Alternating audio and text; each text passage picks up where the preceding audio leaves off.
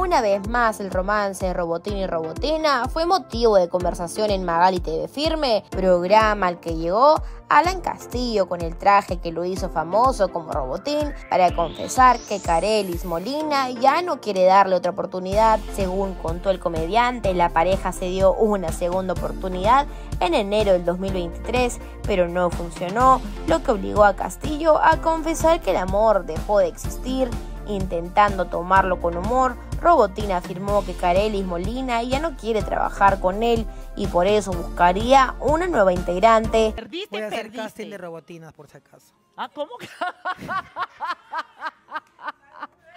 Por si acaso, Ajá. este lo tengo patentado el nombre. Eh, ¿El de Robotina también? Sí. Que mira, qué vivo. ¿Cómo le has patentado el nombre a la Robotina? No, Dáselo, pero ese es su nombre. Yo soy una persona espectacular, así que le doy el nombre a ella, no hay problema. Que Ya, chambee. ya lo patentó y le doy el nombre ahora. A cambio nada, supongo, ¿ah? Sin embargo, ambos personajes vuelven a estar en el ojo de la tormenta, ya que Alan Castillo, el personaje detrás de Robotín, patentó ante Indecopi los derechos de su nombre artístico y el de Robotina. Si bien no existe contrato alguno que certifique que ella asumió la mitad de la gestión, Carelis Molina confía en Alan Castillo